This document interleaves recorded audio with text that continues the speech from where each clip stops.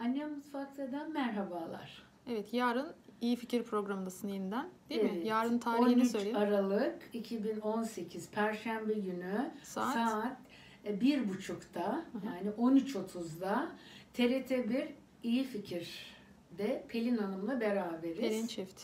Pelin Çift Hanımefendi ile beraberiz. Hepinizi ekran başına bekliyorum. Neden bahsedeceksiniz? Çok Yeşillik e, görüyoruz. Evet, bu doğada, doğal ortamda yetişmiş doğal tohumlardan rokamız, terimiz, marulumuz, dereotumuz, ıspanağımız var. Kozak'tan geldi galiba. Kozak'tan geldi. Bu Bergama'nın Kozak Kim Okçular Köyü'nde. Meral Hanım gönderdi bunu.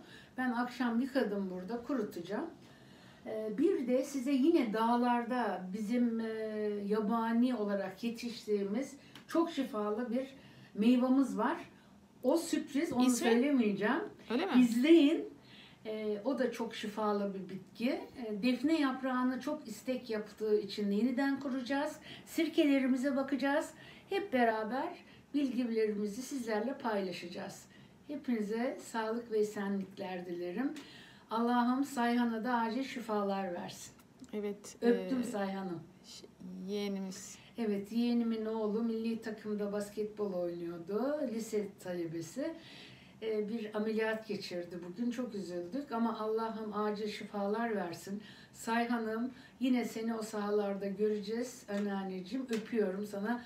Dua ediyorum Allah'ım tez şifalar versin.